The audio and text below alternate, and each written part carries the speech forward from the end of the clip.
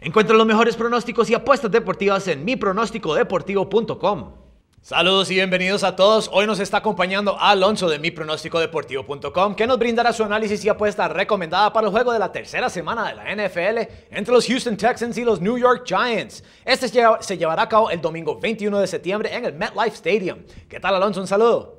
¿Qué tal, Dax? Un saludo para usted.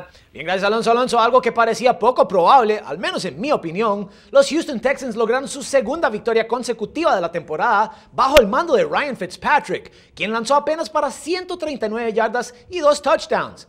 Pero todo esto también es muchas gracias a la actuación estelar de la defensa y, por supuesto, al corredor Arian Foster, quien encontró la zona de anotación una vez y además logró correr para 138 yardas.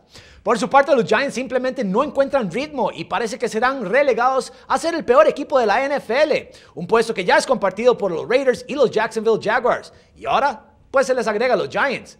Los Giants tienen una de las ofensivas más malas de la liga, lo que podría ser problemas para ellos ante la defensa de los Texans. Pero en este caso, Alonso, ¿qué podríamos esperar para este encuentro y cuál apuesta nos recomendarás?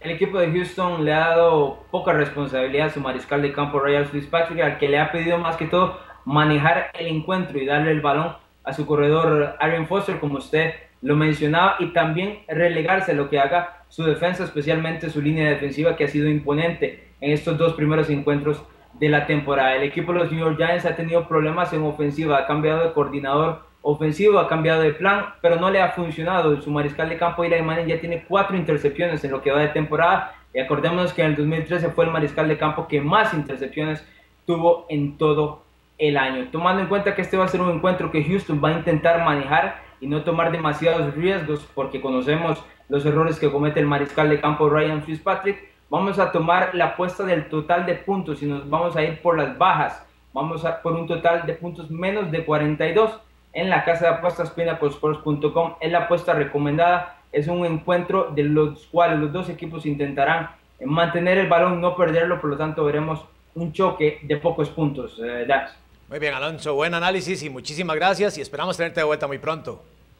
Un gusto, Dax. Y recuerden para más información sobre este y otros juegos más que pueden visitar mipronosticodeportivo.com. También encuéntranos en Facebook como Mi Pronóstico Deportivo y en Twitter como arroba mpdeportivo. Y para sportsbookreview.com, soy Dax Floyd.